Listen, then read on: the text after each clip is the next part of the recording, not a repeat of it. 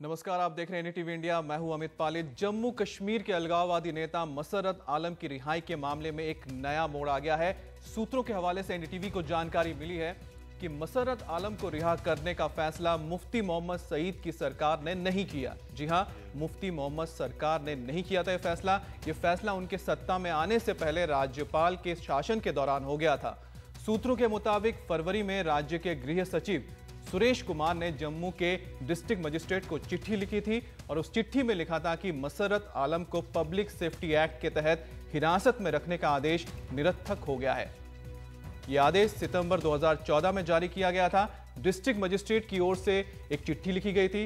वो भी सात तीन 2015 को।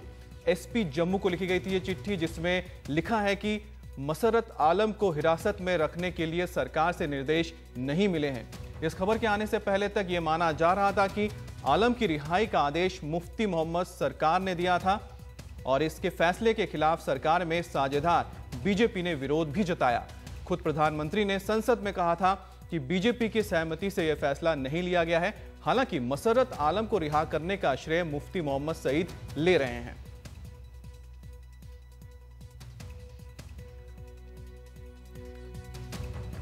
इस पूरे मामले में नया मोड़ आने से कई सवाल भी उठ रहे हैं।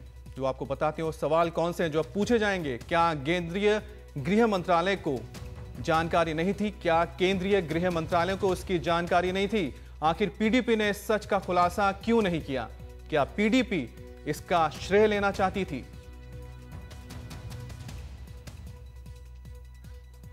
और मसरत आलम कौन है यह भी आपको बता देते हैं, जिसको लेकर इतना हंगामा है।